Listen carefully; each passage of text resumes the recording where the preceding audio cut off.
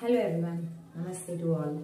So today I'm going to discuss the last few points of the salient features of the Information Technology Act. Earlier two videos I have made in which I have discussed few points of the salient features. So as I said earlier, I have summarized the whole act into just 18 points and in these 18 points I have made them into three videos. I will be leaving the links in the description box. You can just click on the link and can watch those videos also. And in these three videos also, I will be leaving the PDF link of this particular topic which I have prepared on my own. You can just click on that and you can download the document and can prepare for the exams also.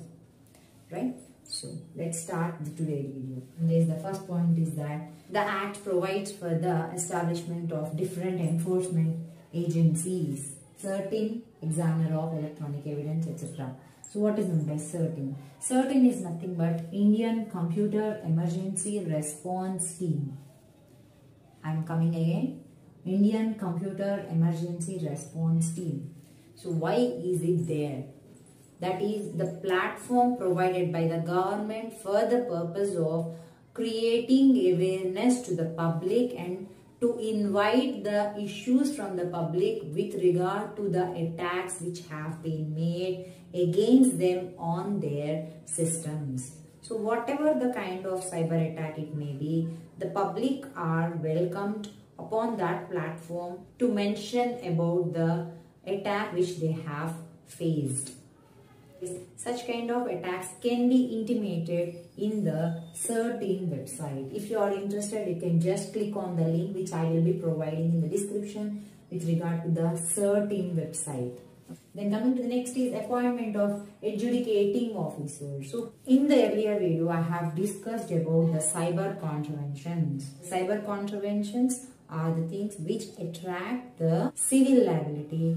That means penalties will be attracted onto the cyber contraventions. So according to that, who is the authority that has to decide such cyber contraventions is adjudicating officer. So he is the person who will be deciding the cases with regard to the cyber contraventions. That means which attract the civil liability or penalties. Next, third point is that the act does have extraterritorial application. Why it is necessary to have extraterritoriality in the case of IT, in the case of information technology crimes, is that we are in the cyberspace, which does not have any boundaries. We are in the world of internet. That means that's not necessary that the criminal should commit the crime only by staying in within the country?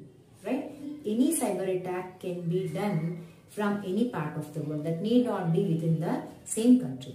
Then if the extraterritorial application is not there, then how can you bring that cracker from the other country and make him punishable in India? Right? The act must and should have the extraterritorial application. So this concept has been derived with regard to the IT Act from the effects jurisdiction. This is a theory on which the jurisdiction in the cyberspace has been propounded. What it actually means is the person by sitting in US if had committed any cyber attack in India. That means he had done the action there but the effect of that action is in India. So the India which is the victim country must and should have the power to bring him before the Indian court of law. Right? This is nothing but extraterritoriality. The last point is act does not apply to these things. What are they? Is conveyance of the property.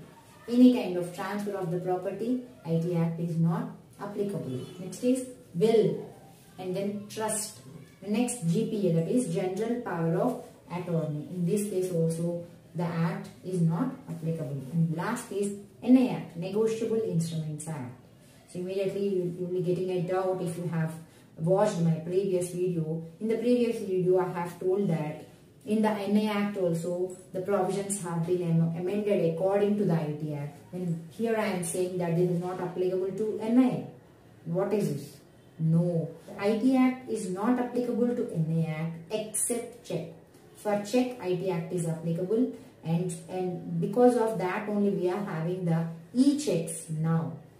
But when you take the other NI, that is other negotiable instruments like promissory note and bill of exchange, the IT Act is not applicable there.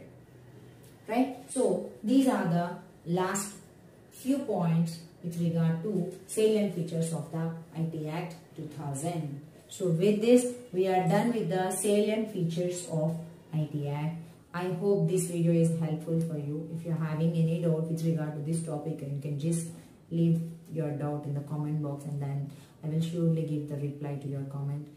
Thank you. We'll meet in the next video. Namaste.